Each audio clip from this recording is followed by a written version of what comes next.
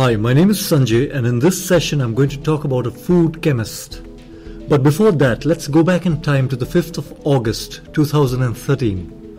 On this day, various journalists from around the world assembled in a London television studio. They had come to witness the world's first hamburger made of meat which was not taken from an animal but grown from scratch in a laboratory. The world currently uses 30% of its land to either raise livestock or to raise food for these animals. In the lab, however, a single stem cell from one such animal could generate 20,000 tons of meat.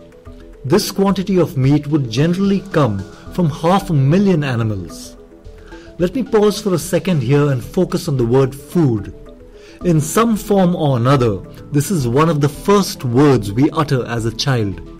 What's for dinner tonight? This is one conversation we humans have on a daily basis.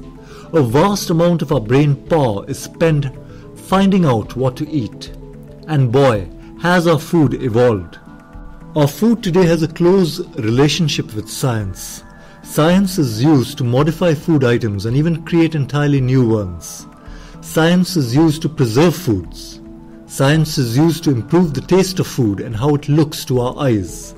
Science is also used to create healthier foods by either increasing its useful properties or reducing its harmful ones.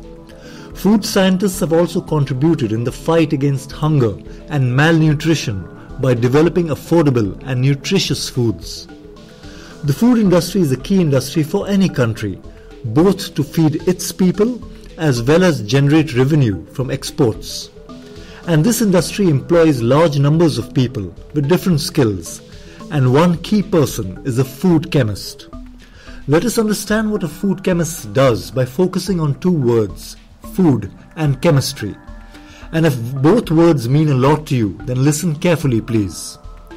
A food chemist spends a lot of time in a lab, which is also his or her kitchen. But unlike a chef who focuses mainly on food, the food chemist focuses on the chemistry of food. As the ingredients on any packaged food item would demonstrate, our foods can be broken down into chemical components. And food chemists focus on these components. They experiment with chemical proportions to improve the flavors and nutritional quality of foods.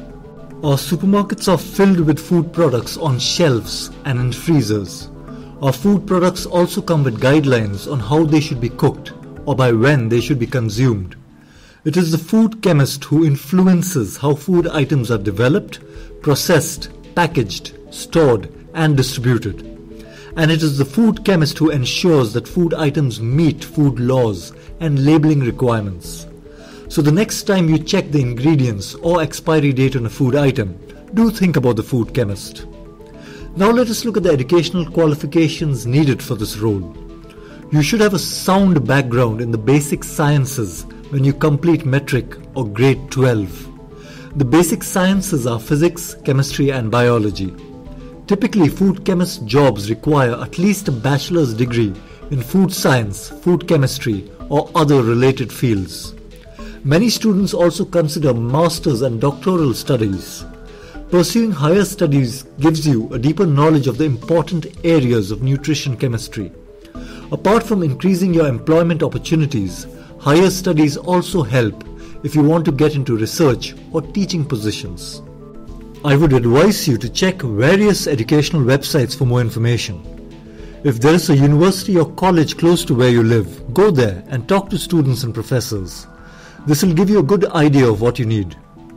Food chemists are typically hired by food and beverage companies and other organizations that conduct research concerning the improvement of food products and food product ingredients.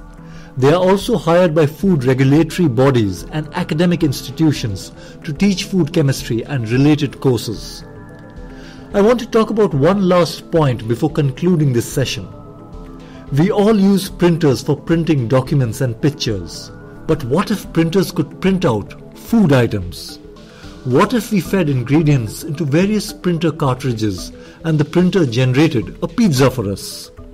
3D printing is a reality and NASA has already implemented a study to see how 3D food printers would work on space missions. And a key person who figures in this project is a food chemist. Thank you and good luck.